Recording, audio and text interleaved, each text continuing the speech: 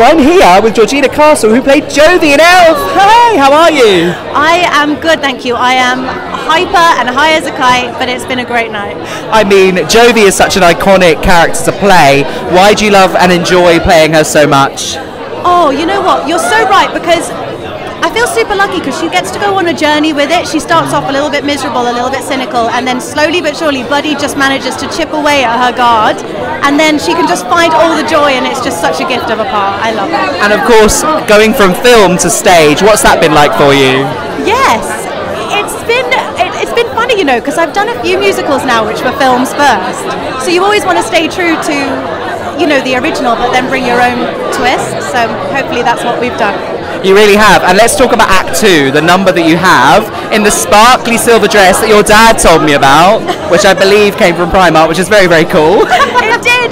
It did come from Primark. I just fell in love with it, and I thought sparkles are in right now. And it, what's more sparkle twinkle? Well, we love a sparkly party dress. It's always good fun. We're at a party right now. But why should people come to the Dominion Theatre to see Elf this Christmas?